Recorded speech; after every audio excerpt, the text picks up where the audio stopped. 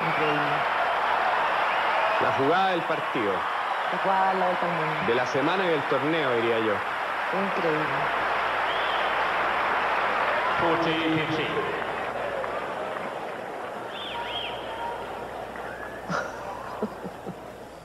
Repitiendo entonces la jugada de espalda. Un poco, ¿te acuerdas, Mario? Cuando le contestó desde el suelo a Andrea Agassi en la final de, de la Copa Grand Slam.